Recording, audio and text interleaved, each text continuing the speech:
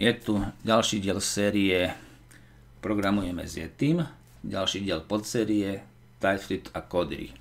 Venujem sa tu tréningu, tréningu na úrovni nižší začiatočník.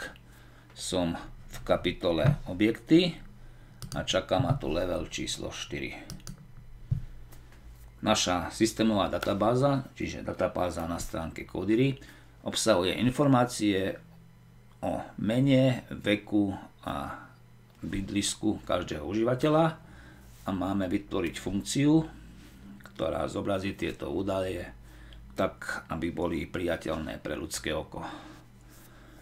Keď si pozrieme na zadanie, vidíme, že ten užívateľ sa tu vyskytuje ako objekt s tromi vlastnosťami, takže musíme si vybrať túto možnosť meno parametra, dvojbodka a tá množinová zátvorka, ktorá nám určuje objekt.